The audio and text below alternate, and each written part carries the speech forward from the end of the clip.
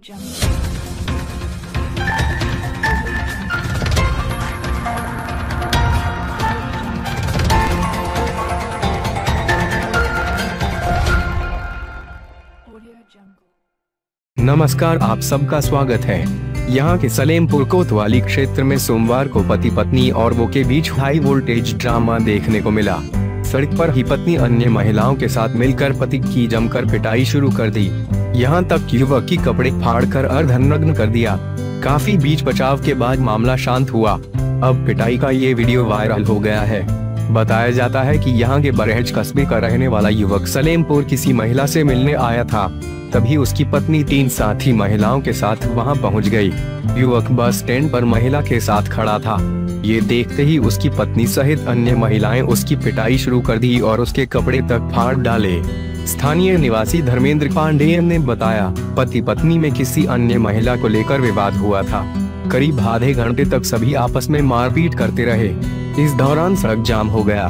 काफ़ी देर बाद लोगों ने मामला शांत कराया।